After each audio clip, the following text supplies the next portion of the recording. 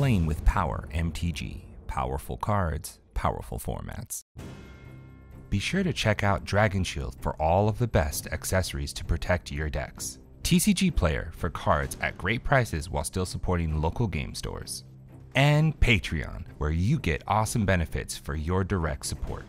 We are excited to announce our very own custom Dragon Shield sleeves. You can find these on our store along with tons of other great Playing with Power merch. Pick up your custom Playing with Power sleeves today. Links are in the description below. At the end of April, we will be going to SCGCon Pittsburgh. We will be playing CEDH in the command zone and recording games while we are there. Stop by, say hello, and let's all jam some games together. Starting April 2nd to the end of April, our Patreon League is returning we will be giving away $1,000 in cash prizes. All you have to do to enter is sign up to our Patreon. Sign up today and let's play. Links are in the description below. Our Mox Ruby tier on Patreon lets patrons submit decks for us to battle. That's what this game is tonight. So, let's start out by showcasing our fighters this evening. First, we have Noah piloting the partner pair of Kraum, Ludevic's Opus, and Tymna the Weaver, with Obosh the Preypiercer as the companion. This is a Dragon's Approach deck submitted by our patron, Rio. It seeks to control the board, grind value with its commanders, and eventually tutor out a dragon with Dragon's Approach to apply maximum pressure to its opponents.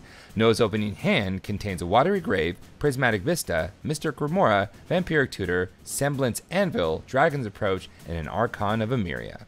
Next, we have Mike piloting Torgaar, Famine Incarnate. This is an ad nauseam deck submitted by our patron, That One Guy. It seeks to resolve ad nauseam, peer into the abyss, or Bolas' Citadel as fast as possible and win with an Aetherflux Reservoir combo. Mike's opening hand contains a Gemstone Caverns, Swamp, Imp's Mischief, Jet Medallion, Opposition Agent, Grim Tutor, and a Necromancy. Next, we have Zach piloting the partner pair of Thrasios Triton Hero and Akiri, the Line Slinger. This is a polymorph deck submitted by our patron, Mikey. This deck seeks to resolve one of several different polymorph effects to put Hullbreaker Horror, Tidespout Tyrant, or Spellseeker into play and win with a combo. Zach's opening hand contains a Mental Misstep, City of Brass, Emergence Zone, Ancient Tomb, Plateau, Mystic Remora, and his London Mulligan is a Windfall. Finally, we have Cal piloting Juri, Master of Revue. This is a combo deck submitted by patron Jordan. It seeks to loop sacrificing permanents along with its commander to kill the table. Cal's opening hand contains a swamp, ad nauseam, lotus petal, ancient tomb, deadly rollick, mana confluence, and his London mulligan is a twin flame. Without further ado, let's begin this slithering, slimy, sweet and sour secret assembly of stars. Noah won the dumpling eating challenge and gets to start us off. But Mike has a pregame action and puts Gemstone Caverns onto the battlefield with a luck counter, exiling Necromancy. Noah draws and plays a Watery Grave into play untapped, paying 2 life. He casts Mystic Remora. In response, Zack pays 2 life to cast Mental Misstep, countering Remora. Saddened, Noah passes the turn. Mike draws and plays a Swamp. He casts Jet Medallion. He passes. Zack draws and plays a Hallowed Fountain into play untapped, paying 2 life. He casts Mystic Remora. It resolves, and with Noah cursing Zack's name, the turn moves to Cal. Cal draws and plays a Mana Confluence. He ends the turn. Noah draws and plays a Prismatic Vista. He passes. Mike draws and plays a Swamp. He casts Phyrexian Walker. Mike ends the turn. During his upkeep, Zack pays for his Mystic Remora. He draws and plays an Ancient Tomb. Zack passes. Cal draws and plays a Swamp. He taps Mana Confluence to cast his commander, Juri, Master of Revue. Cal ships the turn. At the end of Cal's turn, Noah cracks his Prismatic Vista, pays a life, and fetches up a plains onto the battlefield. He casts Vampiric Tutor. Remora triggers, and in response, Mike flashes in an opposition agent. Agent resolves, Zack draws from Remora, and Mike tutors a card from Noah's deck into exile, and Noah loses 2 life. With nothing going the way it's supposed to, the turn moves to Noah. Noah draws and plays a Hallowed Fountain into play untapped, paying 2 life. He casts Archon of Emeria. Noah ends the turn. Mike draws and casts the card he exiled from Noah's deck, Rhystic Study. Remora triggers and Zack draws. Rhystic resolves and Mike moves to combat. He attacks Zack with Opposition Agent. Zack takes the hit and Mike passes. During his upkeep, Zack taps his Ancient Tomb to pay for Mystic Remora. He draws and plays a City of Brass into play tapped through Archon. Zack ships the turn. Cal draws and plays an Ancient Tomb into play tapped through Archon. He moves to combat and attacks Zack with Juri. Zack takes the hit, and Cal ends the turn. Noah draws and casts his commander, Tymna the Weaver. Rhystic triggers and Mike draws.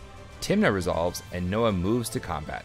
He attacks Mike with Archon of Emeria. Mike takes the hit, and in his second main phase, Tymna triggers. Noah pays a life and draws a card. With nothing else, Noah ships the turn. Mike draws and plays a swamp. He moves to combat and attacks Zack with Opposition Agent. Zack takes the hit, and in his second main phase, Mike casts Grim Tutor. Remora triggers and Zack draws. Mike fetches up a card into his hand and loses 3 life. Mike ends the turn.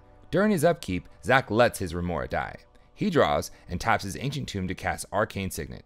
Rhystic triggers and Zack pays. He plays the Plateau into play tapped through Archon. Zack gives the turn to Cal. Cal draws and plays an Arid Mesa into play tapped through Archon. He casts Deadly Rollick for its alternative cost targeting Archon of Emeria. Rhystic triggers and Mike draws. Archon is exiled and Cal follows it up with the Lotus Petal. He cracks his petal, taps his Ancient Tomb and Mana Confluence to cast Ad Nauseam. Juri triggers, getting a plus one plus one counter. Ad Naus resolves, and he reveals a Diabolic Intent, Abrade, Mana Crypt, Mind Stone, Diabolic Tutor, Mox Amber, Beseech the Queen, Inventor's Fair, Dark Confidant, Dire Fleet Daredevil, Underworld Breach, Valakut Awakening, Tybalt's Trickery, Mox Diamond, Dragon Skull Summit, Pyroblast, and a Jeska's Will, deciding to stop there. Cal casts Mana Crypt, Rhystic triggers, and Mike draws. Cal casts Mox Diamond, Rhystic triggers, and Mike draws. In response, Zack taps City of Brass to cast Cyclonic Rift targeting Juri. Rhystic triggers, and Mike draws. Juri bounces to Cal's hand, and Mox Diamond resolves, with Cal discarding Inventor's Fair. He casts Mox Amber. Rhystic triggers, and Mike draws. He casts Jeska's Will, targeting Mike. Rhystic triggers, and Mike draws. In response, Mike casts Imp's Mischief, targeting Jeska's Will. Imp's Mischief resolves and changes the target of Jeska's Will to Zack. Will resolves, and Cal adds 5 red mana. He casts Underworld Breach. Rhystic triggers, and Mike draws. It resolves, and Cal escapes Jeska's will, targeting Mike. Rhystic triggers, and Mike draws. Will resolves, and Cal adds 13 red mana. Cal casts Abrade, targeting opposition agent. Rhystic triggers, and Cal pays. Agent dies, and Cal follows it up with a Dire Fleet Daredevil. Rhystic triggers, and Cal pays. Daredevil enters and exiles Mike's Grim Tutor from his graveyard. Cal casts Grim Tutor. Rhystic triggers and Cal pays. Cal tutors a card into his hand and loses 3 life. Cal casts Dockside Extortionist. Rhystic triggers and Mike draws. Dockside enters and creates 4 treasures. He casts Diabolic Intent, sacrificing Dockside as an additional cost. Rhystic triggers and Mike draws. Cal fetches up a card into his hand. He casts Unearth, targeting Dockside. Rhystic triggers and Mike draws. Dockside enters the battlefield and creates four more treasures. Cal escapes Jeska's will, targeting Mike. Rhystic triggers and Mike draws. Will resolves and Cal adds 17 red mana. He casts Imperial Recruiter. Rhystic triggers and Mike draws. Recruiter enters and Cal fetches up a blood pet into his hand. He casts Beseech the Queen. Rhystic triggers and Mike draws. Cal fetches up a card into his hand. He casts Pyroblast targeting Rhystic Study. Rhystic triggers and Cal pays. Rhystic is finally destroyed. Cal casts Cloudstone Curio. He casts Blood Pet. In response, Mike pays 4 life to cast Dismember targeting Dockside Extortionist. Dockside dies and Blood Pet enters. Cal escapes Dockside Extortionist. Dockside enters and with the trigger on the stack, Mike casts Slaughter Pact targeting Dockside. Dockside is destroyed and Cal creates 3 treasures. Cal casts Diabolic Tutor. He fetches a card into his hand and casts Dance of the Dead, targeting Dockside. Dockside enters, triggering Cloudstone Curio and itself. Cal creates three treasures and bounces Blood Pet to his hand. He casts Blood Pet. It enters and he bounces Dockside to his hand, with Dance of the Dead going to his graveyard. He casts Dockside. Dockside enters, creates three treasures, and Cal doesn't bounce anything with Curio. He casts his commander, Juri, Master of Revue. It enters and Curio triggers, bouncing Dockside to Cal's hand.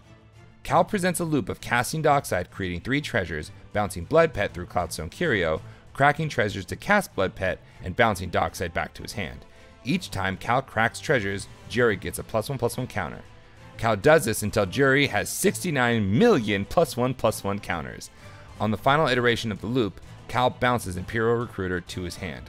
Cal sacrifices Blood Pet, adding a black. Juri triggers, getting a plus one plus one counter.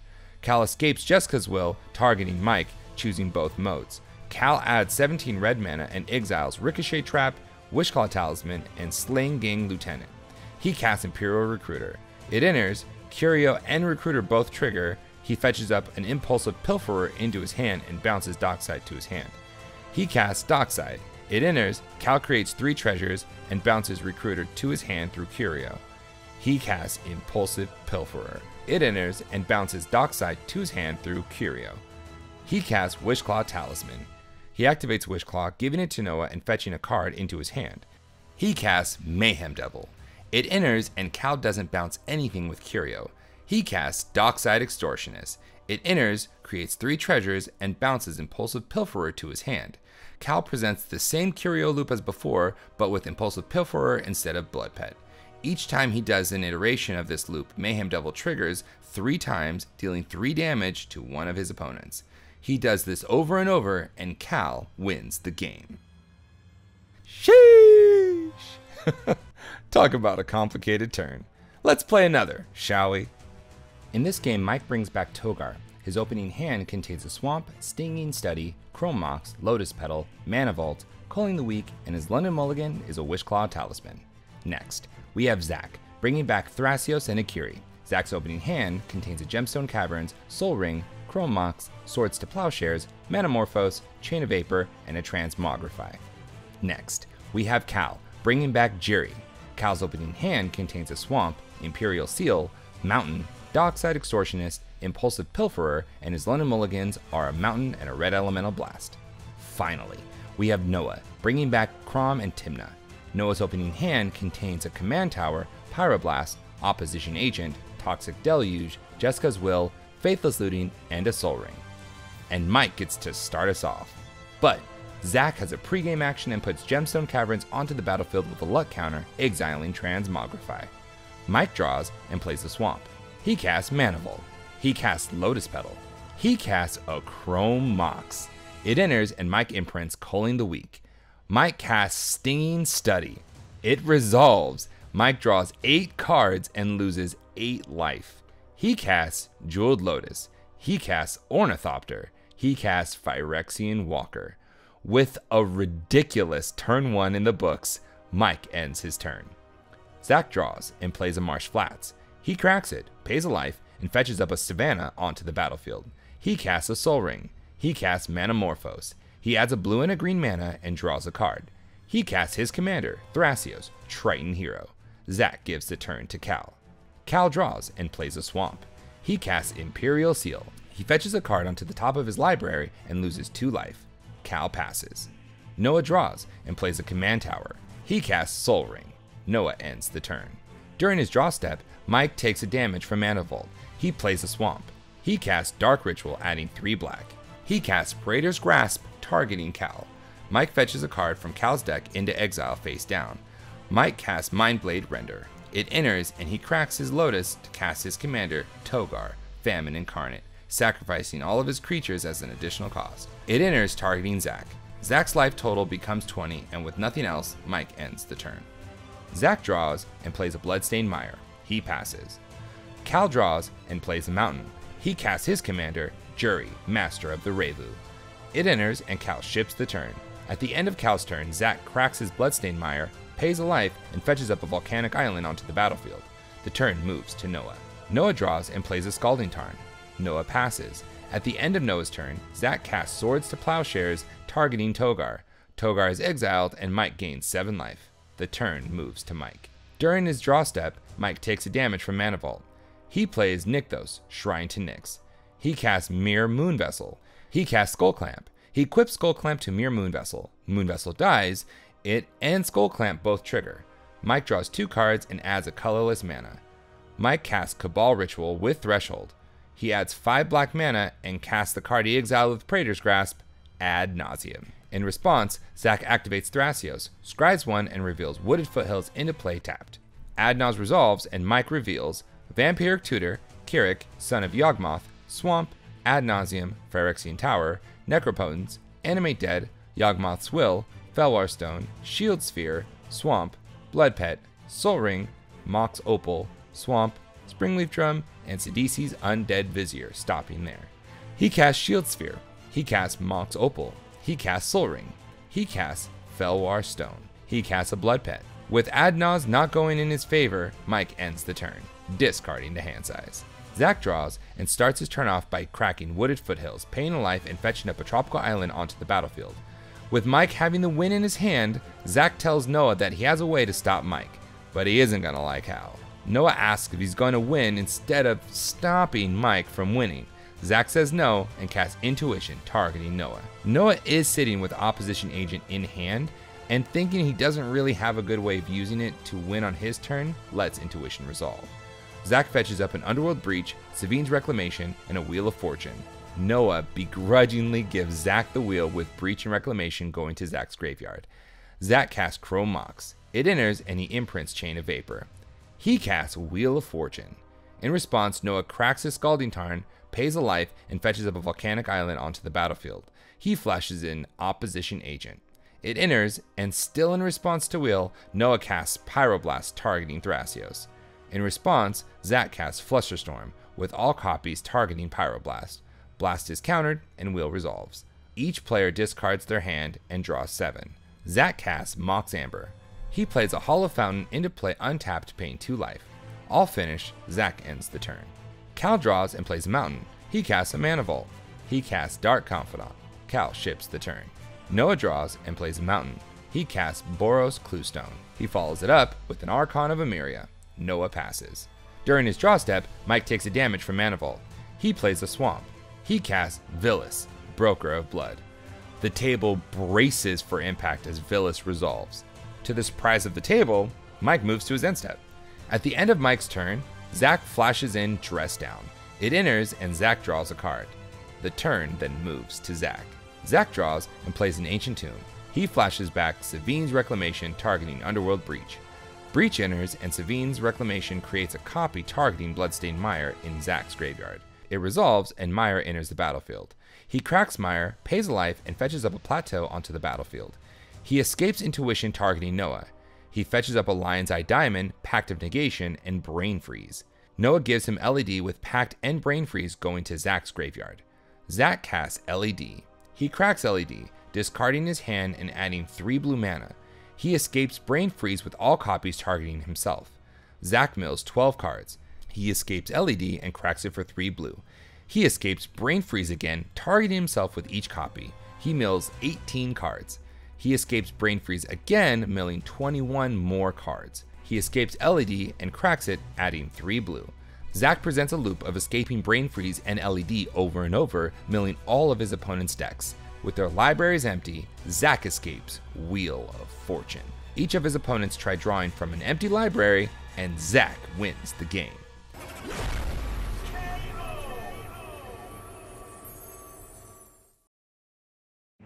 Ladies and gentlemen, those were some explosive games. Congrats to Cal and Zach on their wins tonight. In game 1, Cal playing his land before killing Archon made his life more difficult than it needed to be.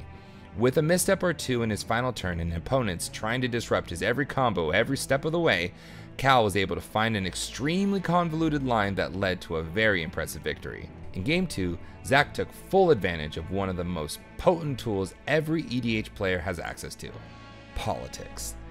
He was able to leverage intuition into not only a way to deal with Mike's win, but also set himself up to win later in the game. This just goes to show you that even at a CEDH table, politics can still be a powerful resource for any player. The most valuable card in Game 1 goes to Jeska's Will. Not only did this card single-handedly generate over 30 mana for Cal on his final turn, but it also allowed him to find the cards he needed to close out the game. Card draw plus mana generation is a very powerful combination, and Cal showcased that here tonight. The most valuable card in Game 2 was a little trickier to decide. At first glance, Intuition looks to be the clear choice, as it allowed Zach to answer Mike's win while setting him up for a victory, but the unsung hero of tonight's game goes to Dress Down. Yes, Intuition set up Zach beautifully, but Dress Down is what turned off Noah's stacks pieces, allowing Zach to combo without any restrictions on his turn. This is a great card for stopping other players' docksides, Thoracle wins, and as we saw tonight, shutting off stacks pieces. Well, that about wraps it up for this episode. Tune in next time when we duke it out to see who will be the king of the competitive EDH table. Thank you so much for watching, and we will see you next time.